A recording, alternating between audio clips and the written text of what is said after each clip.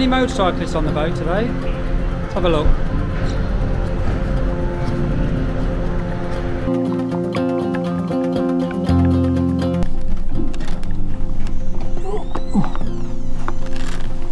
Not too bad.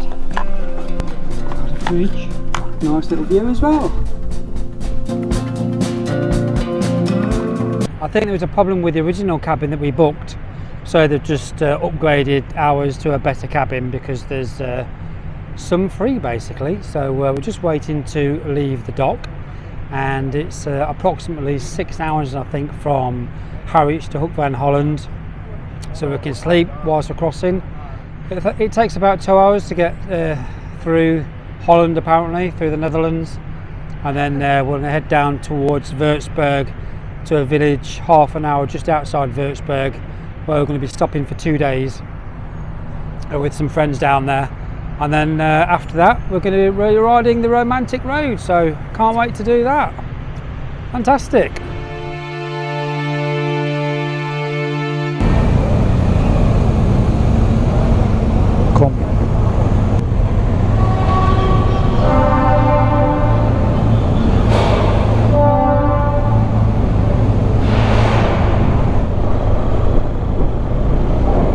But the MGs are off.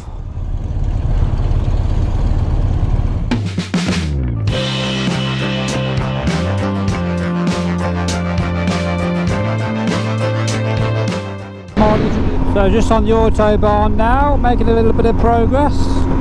It's in kilometres guys, not miles per hour.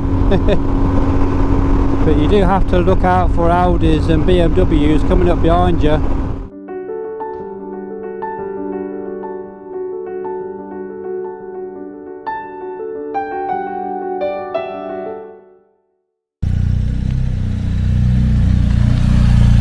So the Romantic Road or the Romantische Straße first became apparent to me when I received this great motorcycle tours of Europe by uh, Colette Coleman was given to me as a Christmas present.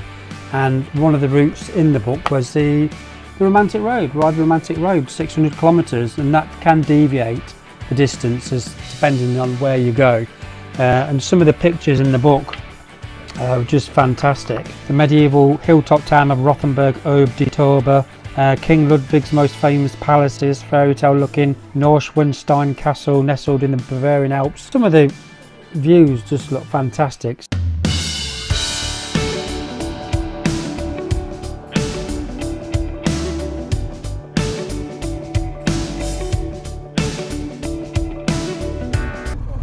That's a funky little motorbike, isn't it?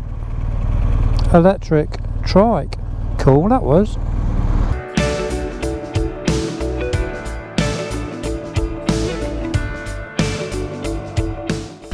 And this is the famous bridge where the pilgrims used to come across to go up to the monastery. And there is the monastery on the top of the hill. Pilgrims years ago used to cross this famous bridge to get to the monastery. The bridge is pedestrianised now and it's littered with bishops all across the bridge on either side. Trish is watching the bike whilst I walk across the bridge. it's a lovely sunny day in Würzburg today.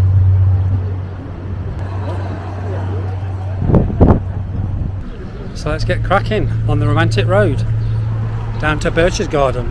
Magic.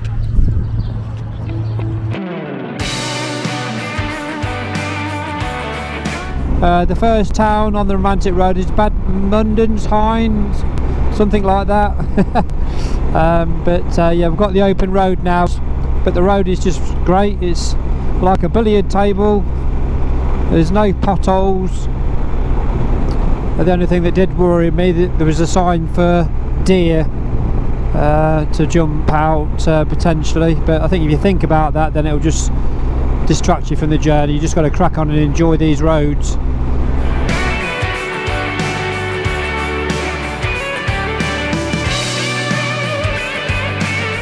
As it says in the book, some of these sweeping bends on this section is you can see in the distance. So you can see the trajectory of the bend, the apex and traffic coming the other way. No commercial traffic on this road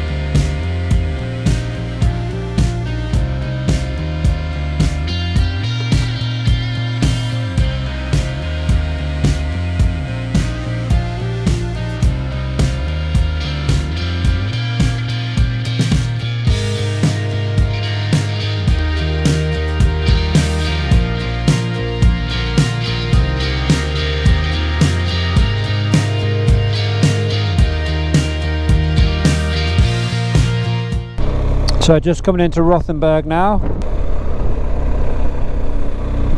I think we'll be going parking here.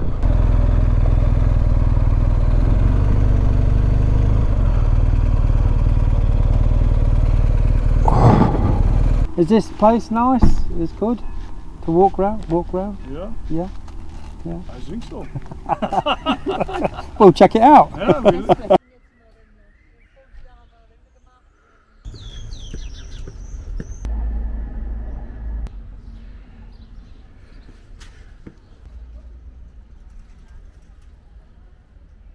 Let's see if we can find the right way.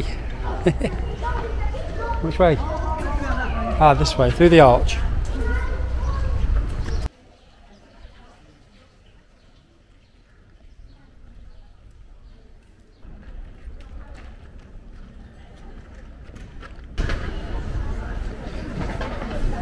This looks like this square.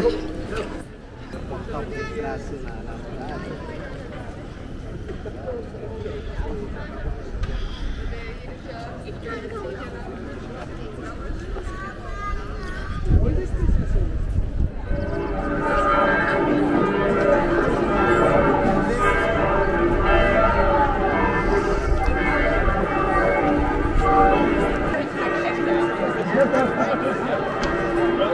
we go. Next one at three o'clock.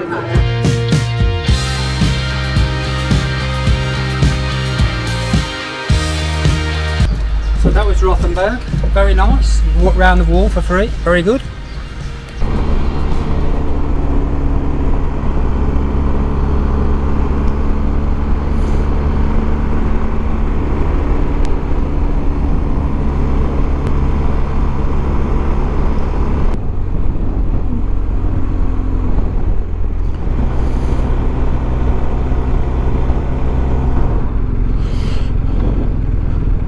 So along the route guys you'll see this sign at the side of the road. Romantis Romantic Street Romantic Straba Straza. I'm just being pointed out by Mrs DMT there's a McDonald's over there so we're going to get a liquid refreshment. Uh, but this is Nordlington. It is a walled town since it was uh, the city was built inside the crater but look it's a bit like York uh, in Yorkshire in England where you can drive in so why not? We'll have a little drive in see what it's like. The church uh, in the centre of the crater of Norlington uh, was built with the remnants of the rocks that were thrown up from the uh, meteorite hitting hitting the centre. They actually built the church or the bell tower with the rocks and the church is behind there. It's pedestrianised. This is as close as we're going to get guys. So I'm going to have to show you the footage from the video clip that I seen earlier before I came.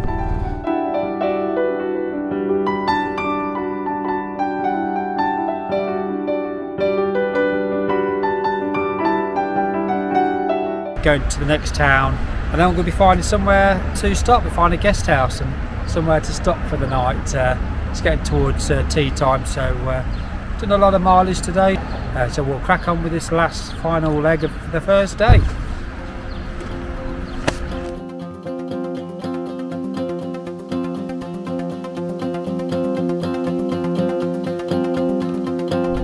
Right, situation update on the first day's riding. Uh, the first few towns and uh, villages that we went through, really beautiful, really picturesque, the walled medieval towns. Um, Rothenheim is really nice. Um, we decided to carry on after Rothenheim, maybe go another town or two. Uh, we seem to be having trouble finding a, a guest house or guest house. Um, we've stopped at two or three and they're all boarded up, all locked up. Uh, there's no one there, all closed up. So we're, we're struggling. So uh, we went to a campsite. Sometimes you get these hostels, but that was just a campsite. A girl there said we could carry on to the next town. Um, there may be something there. And this first third of the Romantic Road are roads like this with little kinks in them but there's a lot of straight roads uh, so I think it feels like I've had the wall put up over my eyes at the minute because um, you know come and ride the romantic road well romantic. I'm kind of falling out of relationship with uh, the romantic road at the moment. I'm hoping the second two thirds of the road down in the Alps it will pick up a little bit, and, that, and that's where we'll get some nice twisty roads. Uh, but this first third, it's all about the scenery and the the historical buildings, medieval buildings and towns, uh, lovely little villages. But it's not so much about the uh, the twisties, I would say but let's crack on and see if we can find uh, somewhere to sleep and uh, rest up.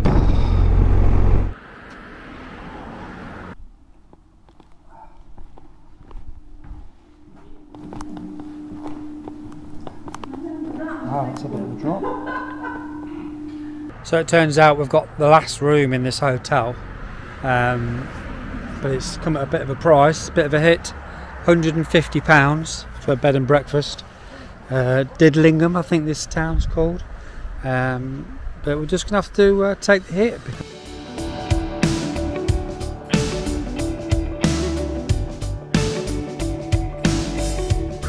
That concludes the first day's riding, but we have clocked up a lot of mileage tomorrow. Uh, there'll be a sh short section down to the corner, so I've been going south so far, and then we'll hang a right towards the Alps, and then this in the book it does say that some of the roads are better there so I'm hoping some of the roads improve. I'm fed up of nice scenery, nice towns, nice villages. Uh, I've overdosed on them. Want some nice roads now, so hopefully this next section tomorrow morning anyway that uh, it will pick up and then we'll get some nice riding roads. So uh, yeah, so we'll check into this hotel and um, I'll catch up with you uh, tomorrow morning. Bye bye for now.